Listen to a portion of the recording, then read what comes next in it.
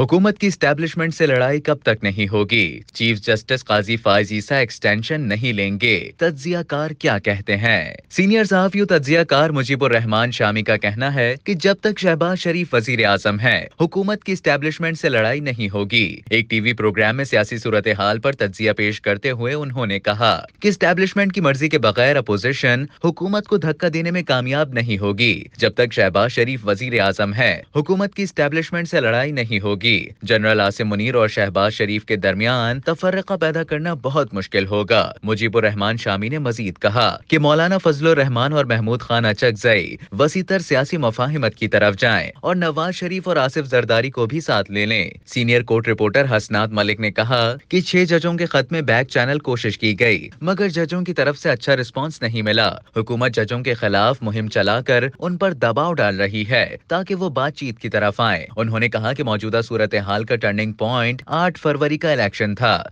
इसके फौरी बाद इस्लामाबाद हाई कोर्ट के जजों ने अपने चीफ जस्टिस आमिर फारूक को अदलिया में मुदाखलत से मुतालिक खत लिखा था। इसके बाद उन्होंने सुप्रीम जुडिशल काउंसिल को खत लिखा। फिर उसमें सुप्रीम कोर्ट में असखुद नोटिस लिया गया। इसके बाद इस्लामाबाद हाई कोर्ट में वाजी तब्दीली आई। चीफ जस्टिस आमिर फारूक के रवैये में भी बड़ी तब्दीली आई है। हसनात मलिक का कहना था कि साइफर केस के ट्रायल में दरकार तरीक़ाकार इख्तियार नहीं किया गया। इमरान खान को इल्ज़ाम के तहत दो साल हो सकती थी, लेकिन मटेरियल न होने के बावजूद ज़्यादा सजा दी गई। उन्होंने ये भी बताया कि चीफ जस्टिस काजी फायज ईसा ने भी हुकूमत को आगाह कर दिया है कि वो मुद्दत मुलाजमत में तोसी नहीं लेंगे।